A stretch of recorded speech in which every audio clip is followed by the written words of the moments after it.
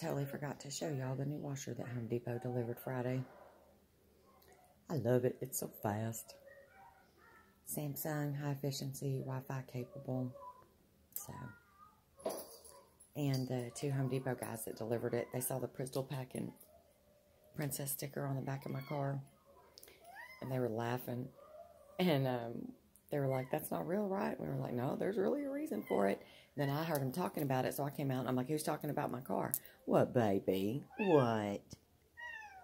And they were like, that little thing, that little thing is a pistol packing princess. That's right. You better watch out. What, my honey? What? Yeah, it's all that, my baby. That's my baby. I love you. Oop, I can see some leg.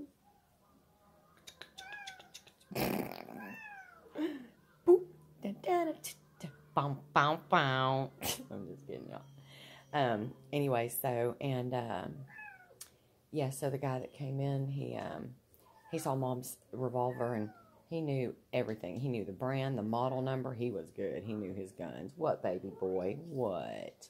Yes, I know. You're trying to get mama's attention. What, my baby? What? Oh, I love him. What?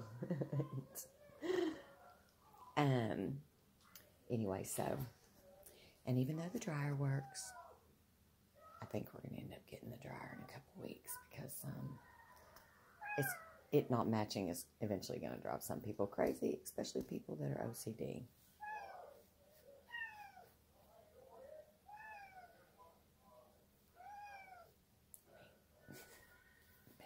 Me, me. So, and you, does it drive you crazy? Yeah? Yeah? What, my baby? What? What? What, sweet? What? What? Tell Mama. Tell Mommy. What? Come here.